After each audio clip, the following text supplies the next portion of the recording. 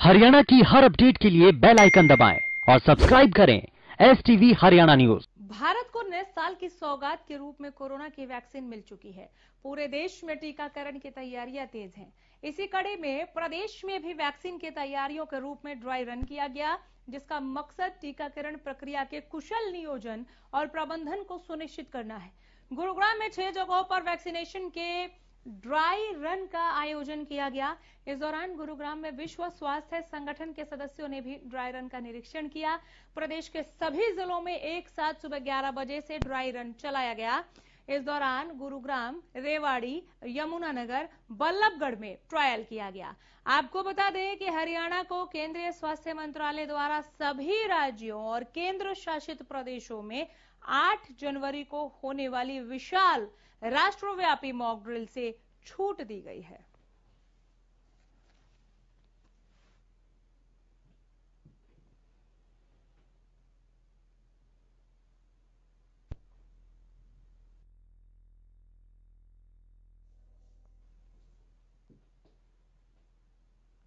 पानीपत की तस्वीरें आप देख रहे हैं। ड्राई रन की तैयारियों को लेकर विभाग पूरी तरह से मुस्तैद नज़र आ रहा है। यहाँ पर सभी को उनकी जिम्मेदारियाँ सौंपी जा रही हैं, समझाई जा रही हैं। ड्राई रन एक मकसद ताकि वैक्सीनेशन जब हो, जब लोगों में वैक्सीन का वितरण हो, उनको वैक्सीन दिया जाए, तब किसी तरह की कोई दिक्कत ना हो।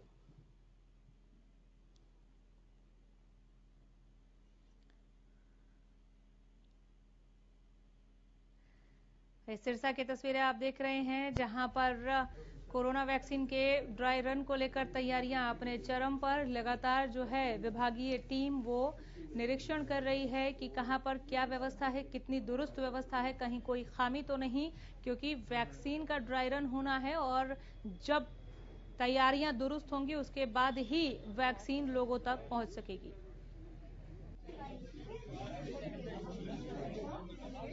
सिरसा के बाद आप बल्लभगढ़ की तस्वीरें देख रहे हैं जहाँ पर ड्राई रन के लिए विभाग पूरी तरह से तैयार है। यहाँ पर कोरोना वैक्सीनेशन का ड्राई रन लेकर आप के ड्राई रन को लेकर आप तैयारियाँ मुस्तैद देख पा रहे होंगे।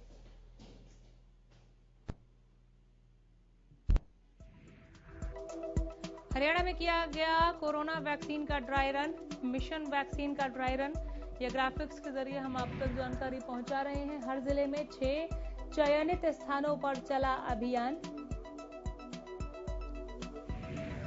तीन शहरी और तीन ग्रामीण स्थानों पर चलाया गया ड्राई रन।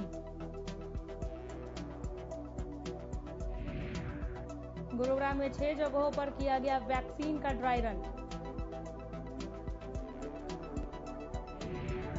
हरियाणा में इस साल सड़सठ लाख लोगों को लगेगा टीका। दो लाख स्वास्थ्य कर्मचारियों को लगेगी वैक्सीन।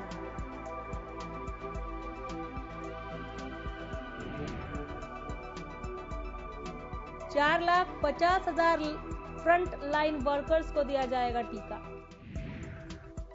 पचास साल से ज़्यादा उम्र के अट्ठावन लाख लोगों को दी जाएगी वैक्सीन। पचास साल से कम उम्र वाले सवा दो लाख बीमार मरीज़ भी शामिल हैं। जिन्हें ये वैक्सीन दिया जा रहा है।